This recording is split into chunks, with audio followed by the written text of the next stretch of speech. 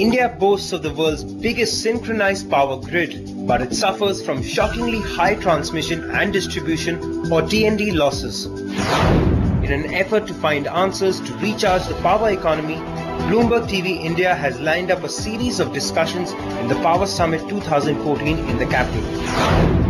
We have a power packed panel participating in the concluding session on transformation through technology and viable distribution, building smart grids and T&D systems of the future. Sanjeev Sardana, MD at Yamuna Power and Infra. Praveer Sinha, CEO at Tata Power Delhi Distribution. Rathin Basu, Country President and Managing Director at Alstom T&D India. SK Gupta, GM T&D at REC. Dr. Subir Sen, GM at Power Grid. Uh, how um, how ready are we as far as renewable energy is concerned um, uh, for uh, for the grid system? Yeah, if you see that uh, renewable energy, so we have the presently around uh, roughly around 30 gigs of capacity in the form of mainly wind, around uh, 19 gigs, and balance is biomass, biogas, and uh, solar. And uh, as per the MNRE's program, Ministry of New and Renewable Energy, we have around uh, additional more than 30 gigs of capacity addition program by 2017 in the 12th five-year plan. And for that, already the broad contour of the infrastructure required. When you are talking about the infrastructure, it is not only the transmission. Because of the peculiar characteristics of this kind of renewable, of the volatility mainly. So it needs, in addition to the transmission infrastructure, there are other control infrastructure in the forms of the renewable energy management center because we have to forecast that renewable generation that has to integrate into the existing SCADA system of the state load dispatch center, regional level, national level, and also the dynamic reactive compensation because of the wide fluctuation in the demand or the generation. So there will be a voltage variation. It's technical parameter. So this has to be controlled and the energy storage. So entire thing, if you see, so already this contour has been done and it has taken up for implementation both at the intra-state level as well as the inter-state level. And these 30 uh, plus gigs of renewable capacity addition is mainly confined into the eight renewable rich states in our country. That is Tamil Nadu, Karnataka, Andhra Pradesh, Gujarat, Maharashtra, Rajasthan, Himachal Pradesh, right. small hydro, and Ladakh area. For intra-state network transmission as well as the inter-state because it has to be integrated with the ultimate reserve so that the balancing can be done also and power has to maybe go out from the this because the resource rich states may not be in a position to absorb the entire uh, renewable so it has to go out and the other control infrastructure and implementation has already started Right. for this both at the intra-state as well as the inter-state level. Right. Uh, le- let me get in, uh, you know, distribution here. Uh, and uh, uh, again, you know, uh, compared to uh, in the context of renewable energy when we are talking, uh, is, is there a big problem uh, of states versus, uh, you know, the center as far as distribution of this renewable goes? When we talk of renewable, from a consumer perspective, the smart grid means that the consumer has a choice of taking power. They can take power uh, which is uh, like someone says, I eat organic food, uh, vegetables are organically grown or cereals are. Similarly, the consumer has a choice whereby they can say that I have taken power from a wind-based power plant or a solar-based. But the better way of doing it is can we do rooftop solar? And uh, again, uh, in his presentation, he brought about the aspect of net metering. Can you have net metering? That means right now the meters are unidirectional. It's only about the supply. Can we have bidirectional meters whereby it can, whatever supply goes to the house and also supply comes out of the house can be uh, can be measured over there and that's known as a net meter. Right. And do we have the incentivization whereby the cost of solar power is something which is affordable because there is a capital cost which is attached with setting up a solar plant uh, on the rooftop. So if it is an affordable or if there is a certain subsidy component which is there. Does it give choice to the consumer that they would put a rooftop power plant, a rooftop solar plant, and that can be used uh, during the time they don't want to use, they can give it to the grid. And during the time that period that they want, the supplier of the power Sure. can supply them. Sure. So that is the uh, area that we are working on. Uh, let me get uh, Mr. Sardana uh, in here. Uh, from a consumer point of view, you know, uh, uh, at least for a distributor as well, and he spoke about smart meters, if I may say so, net meters. How far are we really from, you know, as technology is concerned, how far away are we from making this or available to the masses? How big a challenge is this at this point in time? Well, you see, from industry perspective point of view, there are already some of the big players in the meter industry who have already designed and developed these meters, and they put it in, you know, use as an experimental on experimental basis with some of the leading power utilities, which are government-owned as well as private players like Tata's and Reliance. And I'm proud to say that uh, they've been very successful, and you know, Tata Power is one of the largest buyers of a company called Secure Meters, who has developed these meters and today there are other companies like Landis and Gyr, L&T also are getting geared up to meet the demand. Because looking at the population growing in India and the demand and supply situation, I think it'll be very pertinent and important that uh, there's a standardization on equipment and every manufacturer produces goods exactly as per standards and international specifications. How smart are our grids right now? We see an entire power value chain from generation to transmission to distribution to rural electrification right up to the last mile. Uh, I think we, should, we, are, we agree that ultimately as far as generation and transmission is uh, transmission is pretty smart. But I will say that normally transmission up to interstate level because we deal with various state transmission utilities. We find that kind of smartness is still to be embedded into state transmission systems. They are still lagging. A lot of uh, technology inductions which have taken place in the interstate grid, those are still to be induced in the intrastate level. Right. That is the reason where the power, the all over all this huge amount, phenomenal amount of power we are talking about, this power has to has to go in, go to the end consumer. Ultimately, whether it is industrial, commercial, domestic, agriculture, they have to consume it.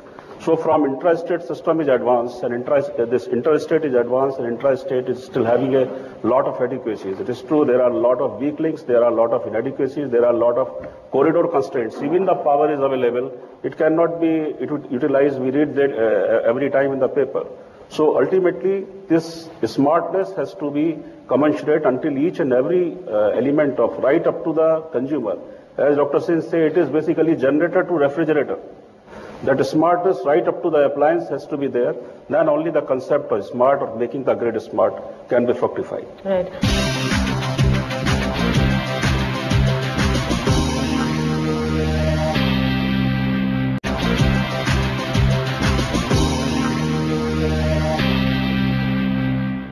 Uh, you know, uh, Mr. Sinha, let me bring in, uh, in you here uh, as far as T&D losses are concerned. Now, uh, we've seen a huge jump in it from, say, maybe 16% in uh, uh, probably the 60s to 23%. And of course, uh, now with the FRP program coming in, we're getting some real numbers, uh, which is over 50%, uh, the T&D losses which have come in, uh, in a lot of the state electricity boards that they put that number in. How, you know, how, how do we check something like this and has enough been done to really, you know, look at this challenge and face it, the T&D loss bit? Typically in the Indian context, uh, how do you make a smart meter which is tamper proof? Uh, we work very closely with all the manufacturers. Uh, for our present standard meters, AMRs and the standard single phase and three phase meters, there are 51 attributes uh, of managing or manipulating or tampering these 51. meters. There are 51 ways. uh, They have people have. Uh, that's the identified. Maybe they'll come with a 52nd way of manipulating the meters. We will learn that. uh, but uh, right now there are 51 attributes under which uh, these meters are. So they really have to be very smart as far as our country is Yeah, concerned. so you, you need to come out with a huge amount of work uh, of how Indian meters uh, cannot be uh, uh, are made tamper proof. Right. So that's the biggest challenge and metering is the fundamental. If you do not meter, then you do not monitor, you do not do the improvement, you do not do the billing, you do not know exactly how much uh, of the revenue loss is coming, how much of collection could have come. So that is the fundamental, and I think most of the states have not uh, gone to that level. Uh, uh, you name it, excepting for one or two, uh, wherever the private sector is there, uh, wherever the distribution is being done, uh, Calcutta, Mumbai, Baroda, Surat and all that, Ahmedabad. Other than that, everywhere else you would find some level of inefficiency as far as the metering is done. Uh, Mr. Sen, uh, and let me move, uh, you know, the discussion to uh, the state electricity boards and the FRP program uh, which has been pushed through. How much of a difference really has that made uh, in dual sense? One, of course, uh, in terms of actual figures which are for the first time being revised by state governments on, uh, you know, T&D losses, cleaning up the books. So that's, you know, the accounting which is accountability also uh, which has come in. How much of a difference has that uh, made, the uh, SEB restructuring? Now the state are taking the proactive role, upgrading the network, especially in the wake of the integration of the renewable. Because the renewable generation are mostly coming up and then getting at the pool, say at 33 kilovolt level or 66 kilovolt level. So it needs to be augmented, the beyond 33, 66 kilovolt. So it is getting addressed. to that addressed to that extent. Uh, uh, what about you? Uh, let me get Alstom in here. You think it's made a difference, the, uh, the SEB programs? Well, uh, the ACB programs is uh, not uh, moving fast enough, uh, uh, mainly because of uh, most of the ACBs uh, are short of funds, and uh, their change in infrastructure is really uh, pathetic. Um, so you need to significantly uh, address this issue, and this can't be done unless uh, you, uh, you know, they, uh, these entities become profitable and they do have cash. So this is the starting point of the problem. I, I would say, if I have to put it bluntly, the cancer of the whole system is in there, that place. And if you don't radiate properly, uh, the patient would be dead, and all Right. that. the whole whole value chain would be dead. Uh, uh, you know, would you agree uh, at this point in time that uh, really the SEB has been a ve- uh, restructuring has been a very small step on uh, what is uh, needed? Uh, I will not uh, uh, agree fully with him. I think that it is not that everything is bad with uh, this distribution, elec- distribution distribution. sector. Okay. Transmission I am still uh, separating out.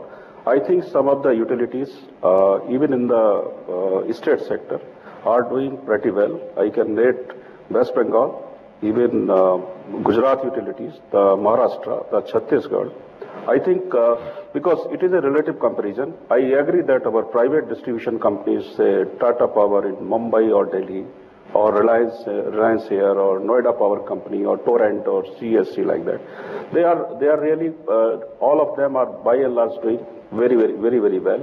This is not the scenario in case of these state discoms, wherever I think close to 90% of the distribution is in the hands of the state distribution utility. But I think uh, I see that in last uh, few years, because of various interventions, even by central government, various ongoing programs, power being a concurrent subject, RAP, DRP, uh, this RGGVY, a grid expansion has been there. It has sorted out to some extent the financial woes of the state utility. After all, a huge some uh, thousands, 50, 60 thousands crores of rupees of infrastructure has been created by government grant and like that. Even in the, this RAP, DRP implementation program, we have found there are dozens of cities wherein after ring fencing you are actually working out the energy accounting. The losses are as less as 6 to 7 percent, 8 percent, 9 percent. Thing is that when we see the overall state, state has got, you know, that it's a, it may not be industrialized state, it has got agriculture, rural population. Rural, again, revenue realization is a uh, problematic point, problematic point. You do not have that much revenue. Even for providing service, it is not remunerative for the board. They have got a lot of uh, uh, this uh, financial problems. They can't invest much in the assets. Technology uh, investment is very, very poor for this uh, particular. There are many regions. But Still, I think things are getting better. We can, while we see uh, in the this RAP DRP implementation program, where first part is basically creating a, creating a IT backbone infrastructure, a ring fencing of the area, so as to because overall objective is to see that these AT&C losses are to be reduced down to 15%. And I think quite encouraging result is there. Definitely an optimistic view uh, over here. Uh, please, sir. Yeah, may I add to uh, what Mr. Gupta just added? Yes. So if you look at the 11 plan, uh, Power Grid uh, had a budget of 55,000 crores. They spent it well. The score was 100 on 100. Uh, if you look at the SAB uh, state part, both uh, uh, sub-transmission and the distribution, you will see that uh, the, the capex spent was 40%. Consequently, what has happened that the 55,000 megawatt of power that we added in the grid in the 11 plan can't be evacuated. Sure. And in the last two years, I mean, this being the second year of the 12 plan, we have added another 40,000 megawatt, and we don't know how to transmit this. Now look at the 12 plan data. Uh, you have originally in Power Grid 100,000 uh, uh, crore of uh, investment. They have upgraded to 110,000 post blackout because they're uh, embedding a lot of new technologies to prevent uh, future uh, such events ha- happening. So against 110,000 crores of investment transmission domain, what is the matching number in sub-transmission and distribution? It has to be at least one is to one. Sure. And where do you see that? So you have to clear the half of the backlog of 11th plan, and you have to, uh, you know, add at least 100,000 plus crore. And we are in the end of the second year of the 12 plan. Right. So do you think we can catch up in the next three years? I don't think so. Right, right. So a lot of effort needs to be done, and that's why I, I say that FRP is a great boom, a great event, but it has to be driven by the bankers. If it is not driven by the bankers or the, or the financial institutions, it will probably go elsewhere.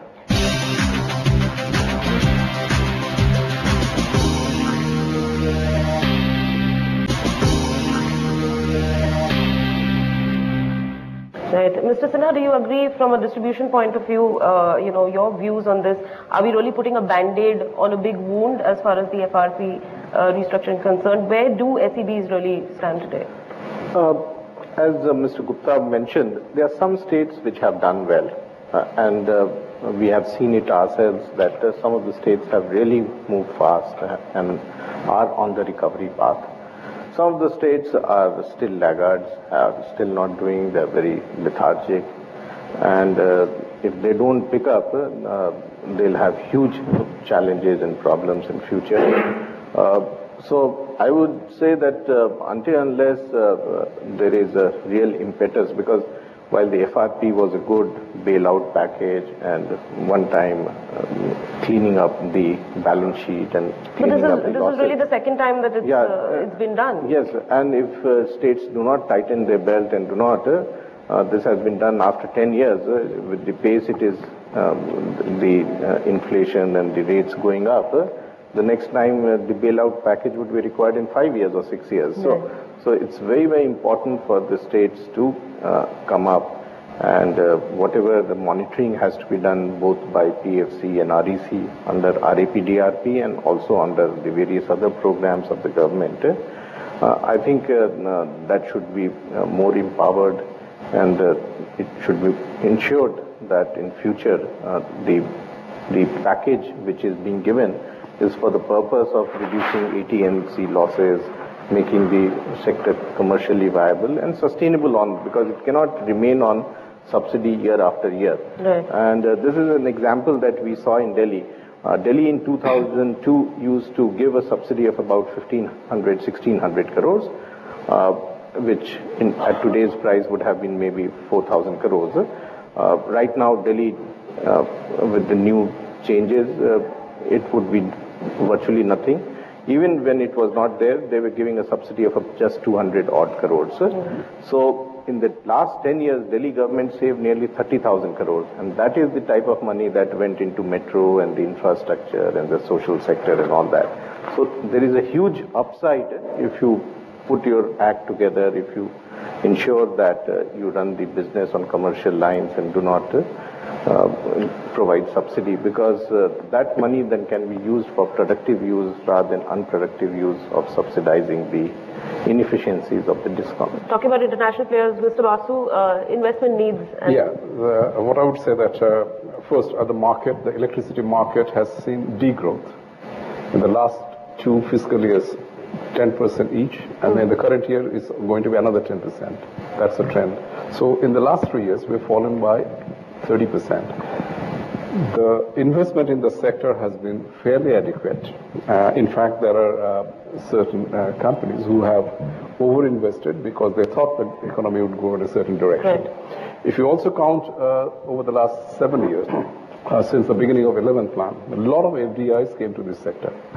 So I would say in the industry, in terms of technology and localization, is absolutely ready, right up to the supercritical in the gen side, uh, okay, and in the transmission side, right up to extra high voltage, even to ultra high voltage, thanks to Power Grid's initi- initiative in the Bina test substation. Distribution, is no issue. So therefore, the industry is ready. What the industry is looking for is the right policies, the right environment in terms of cycle time. Because today we talk of a project of four years, but we execute in over six years, mainly because there are always unknown hurdles which pop up. So if we can eliminate these hurdles, I mean, we don't need any push as an industry, but we just don't want to see unforeseen hurdles. Then the good days will be back very soon, and it takes two years to you know, turn around. So, so would you say that upgradation really is not that big a concern for TA? uh, For the industry to Industry. support that, absolutely no. Absolutely Absol- not. The whole industry is today is ready to go up to 2020. You know, the, that national plan in the Planning Commission document in 2006, they gave a uh, macros uh, uh, guidance that uh, India to support a 8 to 9 percent GDP growth, the electricity growth has to be at the same order. Therefore, the gen side has to reach something like 778,000 uh, megawatts of uh, power generation. I, I think we are not too far away. I mean, we missed uh, 20,000 odd uh, for the 11 plan, but if we do the 88,000 megawatt in 12 plan, plus the 30,000 megawatt of renewables, we'll be fairly back to uh, roughly 300 plus number. So we could reach there still, but then uh, we missed three years. You know, Right. the last three years is a bad, bad slip. Right. So we could go there, and the industry is absolutely ready with localization, with technology to manufacture locally, and even to go for exports. Mr. Gupta, from what Mr. Basu said uh, here, uh, what kind of policy changes do we really need to, uh, you know, or policies, new policies that we need in the next two or three years uh, for, you know, investment to go through for upgradation? We have studied almost a entire capex plan of all these utilities, particularly all the utilities, uh, this thing. We have found that the states who are poorer, they have, uh, they are totally depending on these programs because suppose there is a kitty for 25,000 megawatts for RGGVY investment, you will find straight from UP and Bihar, a large share of the investment requirement will be there or from uh, this thing. So this is also, uh, only thing is that the, which I find the state like Odisha, UP, Jharkhand, Bihar, northeastern states, who are perpetually almost poorly performing states as far as distribution function is concerned. The investment in these states have been again consistently low, which needs to be uh, jacked up. That is uh, the requirement. Rest of the states like Maharashtra, Maharashtra is a, we say that it's Asia's largest single distribution companies. Like uh, they are they are planning and uh, everything is uh, done like that. Second thing, investment not per se. You see, it's a technical area. If we see those various uh, this thing, you have to invest into it. See that that investment does not is not rendered redundant. It has to be meticulously done. Today, in that time, whatever asset you create, it should be leveraged. It should give you full adva- uh, advantage. So basically, the little bit of capacity building in the distribution companies, which is lacking, how to plan, how to design, how to evolve a network configuration, network expansion, keeping a short-term to medium-term to long-term power perspective, the capacity addition plan for your state, various emerging consumer or load centers, that has to be uh, that has to be done with by all these states to fully realize the investment which is happening or the investment which they have planned. We can continue the discussion. Thank you so much, gentlemen. Thank you, everybody, for joining us. Thank you.